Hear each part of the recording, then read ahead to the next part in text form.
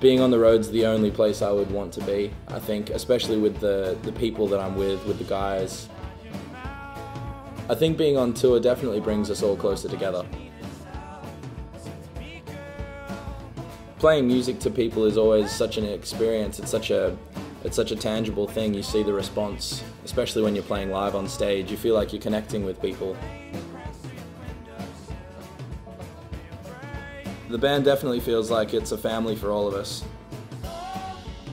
You always feel like you're part of something something important, you know, you feel like you're part of a club. What else could you what else could you ever ask for, you know? I'm Andrew Phelan and we're the river and the road.